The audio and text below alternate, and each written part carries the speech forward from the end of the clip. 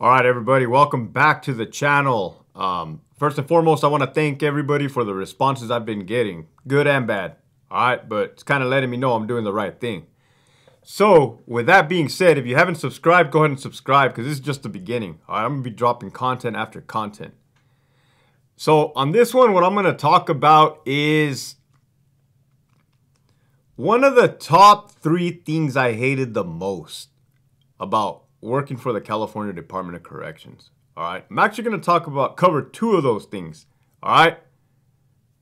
The first one's a secret. All right. Once I reach maybe 10,000 subscribers, then I'll let you guys in on it. All right. We got to get there first. We got to cross that bridge. So, dirty cops. Dirty cops, dirty cops, dirty cops. You guys know of them. You guys heard of them, right? It's no different from us working inside the walls, all right? I'm only going to give you my perspective, right? Because I can't speak for other people. I despised dirty cops, all right? And I'm talking about the ones that were bringing in dope, bringing in contraband, bringing in cell phones, tobacco. Um, two reasons. One reason being that it went against values and ethics, right? That I believed in, that I believe in. And just to reaffirm, I wasn't always this dude, all right? I wasn't always a, a man of honor, integrity, but I've, I've, I've paid the price for, for those mistakes in the past, okay? So this is the new journey. And um, if you swear, you know, to, to uphold you know, the law for whatever reason. Um, me personally, me personally, I do not believe that one can go from like being normal to being like talked into bringing con- contraband. I don't see that. I think you're dirty from the start. That's just my opinion. Um, so coworkers would disagree on that, but that's just my opinion. Okay. Um, yeah, I got 16 years in the department. I got stories, stories for days. I got uh, male partners, female partners, uh, black, white, Mexican. It really didn't matter. Um, it's all the same. Uh, so that's the reason number one. It went against my values. Reason number two is because that's extremely dangerous. Extremely dangerous to our partners. All right. I've seen good, good cops get assaulted as a result of, as a direct result of cops bringing in contraband for inmates. Okay? Because inmates are going to get um, desperate. And if they're about to get caught with their uh, contraband, they're going to more than likely attack you or in an attempt to kind of get rid of it, destroy it. They, somebody's going to get hurt in the process right? So that those are the two reasons. All right. So yeah, man, I've seen it. Um one in particular, and these are all not secrets. You can just Google this shit. It's all on there. Um it's all on there.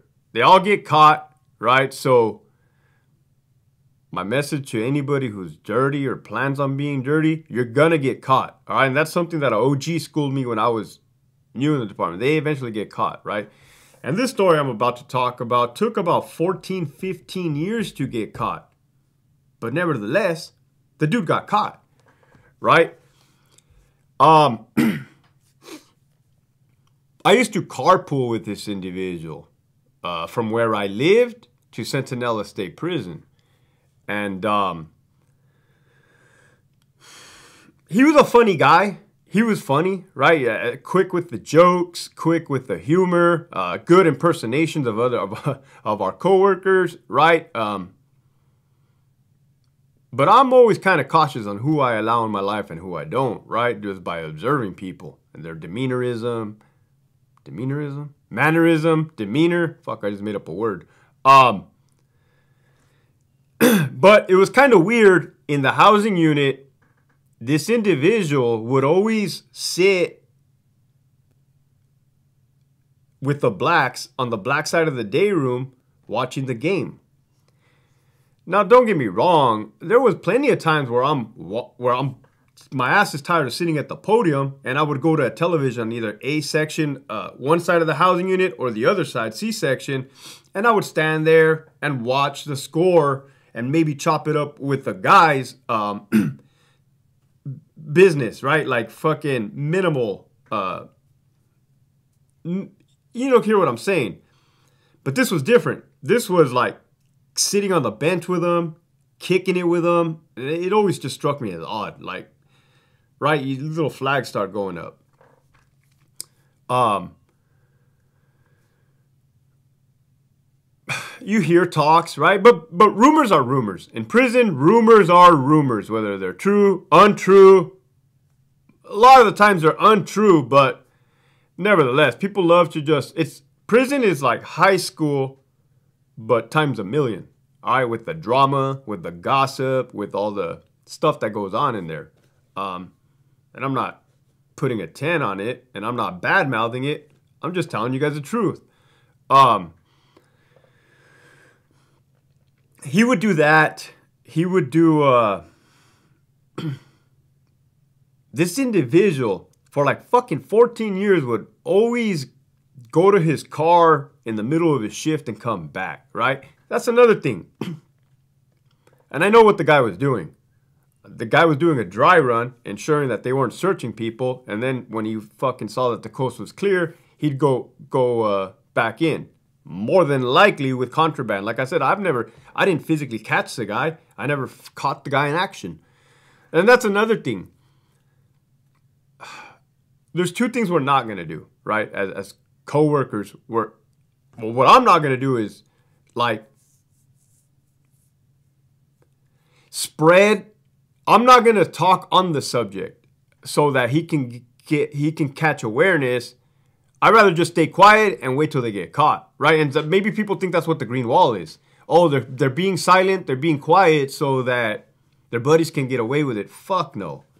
It's that I chose to be quiet so that I wouldn't spook the guy, right? So that I wouldn't give so that he didn't get the heads up. The dude knew what time it was.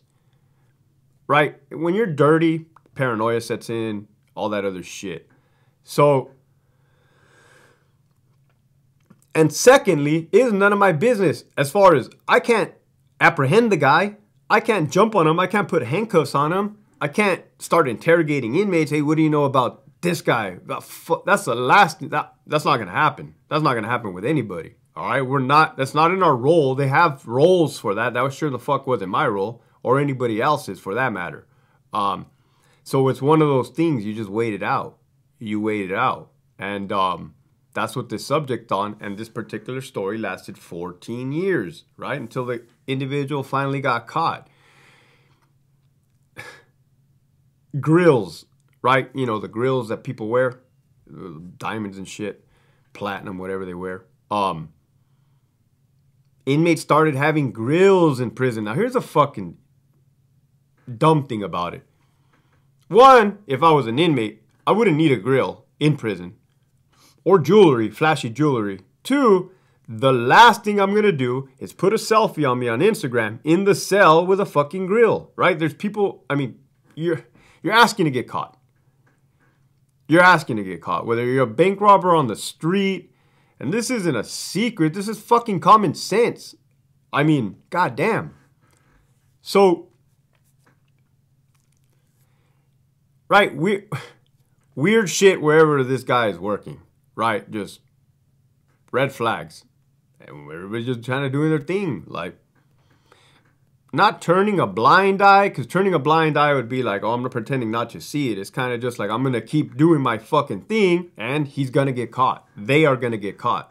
So, I mentioned in the beginning of the story that there's two things that I, or three things I can't stand the most. One is a dirty cop. The other one is cowardice, being a coward. Being a coward can be anything for if we're all getting our asses kicked by inmates and you don't act, you don't jump in and help us while we're fighting for our lives, I deem you a coward, right? You could be scared, you could freeze.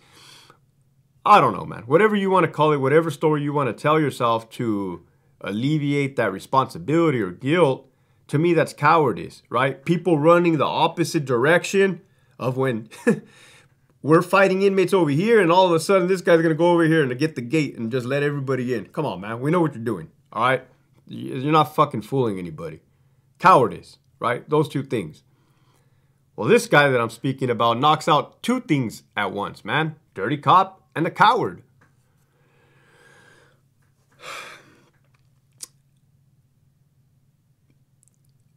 on uh, on one of the podcasts I just spoke on on uh, the convicts perspective, I talked about a massive staff assault that happened at RJD in August of, uh, but I believe the year was 2020, and it was fucking huge, right? Two cops got stabbed, um, sent to the hospital. As a matter of fact, man, the inmates took the baton away from the cops, smashed the cop's face in.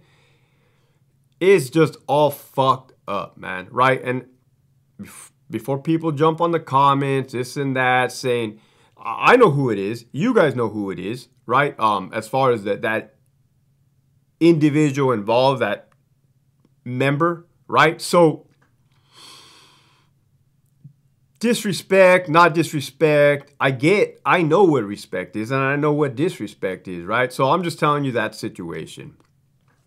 That incident happened in front of a building, right? On one of the yards there.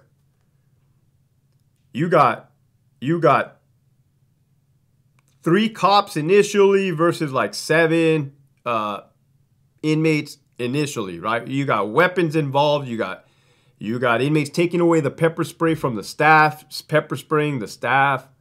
Um,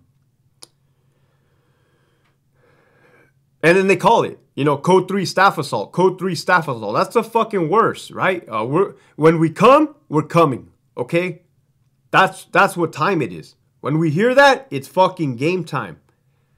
So incidents happening right in front of the building, right in front of the fucking building. Sally Port or the rotunda uh, Sally Port door opens. This one individual that I'm telling you about sees sees his partners in green getting fucked up.